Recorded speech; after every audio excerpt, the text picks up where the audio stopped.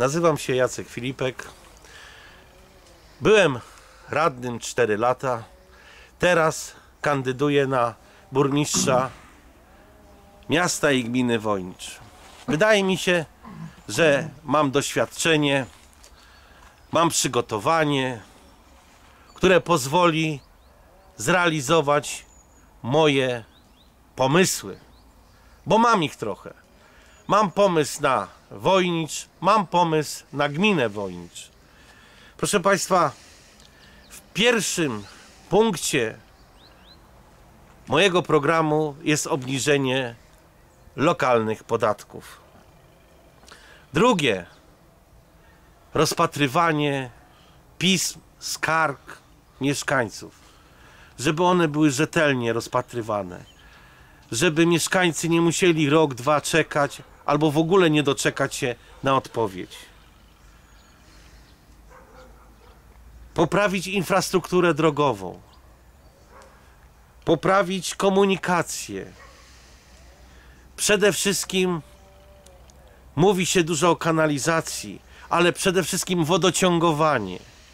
Ja jestem za tym, żeby jak najszybciej tam, gdzie nie dojdzie kanalizacja, żeby ludzie mogli budować przydomowe oczyszczalnie. Żeby była klarowność w obsadzaniu stanowisk dyrektorskich, urzędniczych. Państwo mnie chyba z tej strony poznali, bo ja dużo pisałem interpelacji i dlatego jest potrzeba, żeby w tym kierunku pójść.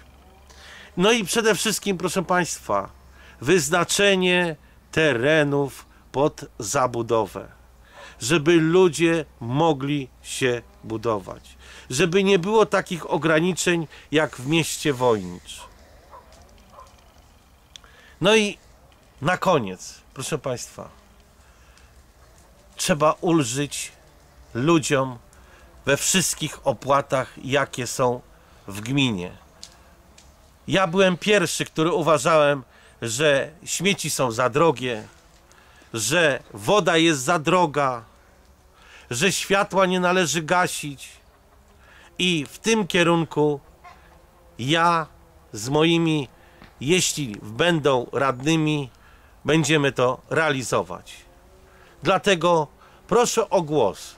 Proszę, żebyście się zastanowili, czy głosować na mnie, czy na inne osoby. Czy obdarzycie mnie zaufaniem i skreślicie przy moim nazwisku krzyżyk. Z góry dziękuję. Jacek Filipek.